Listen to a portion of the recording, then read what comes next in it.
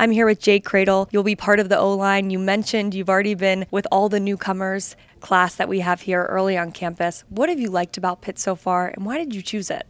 Um, I've loved the campus and like just the players, the players in the you know team room and everyone. Everyone's just been pretty welcoming, and I just I love being here.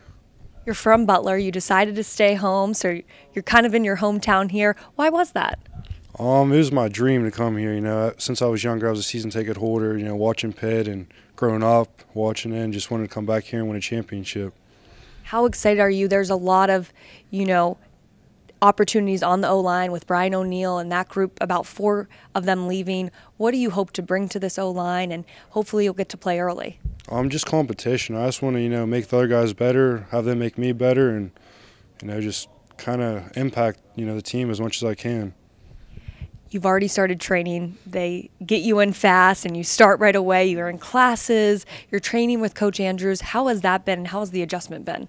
Oh, I love it. It's you know, it's another step up from where I came from, like training and stuff. So it's getting me where I need to be, you know, strong, you know, fast, physical. So I love it. How would you describe Coach Andrews? He's pretty intense, but he's a fun guy. Oh, he's pretty upbeat, but like he's also like chill too. Like, you know, he's real I don't know, you just you work hard for him and just do your thing.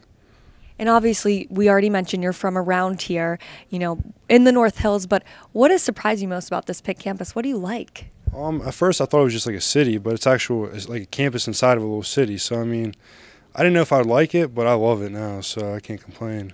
Well, we love having you, so thank you so much. Thank you.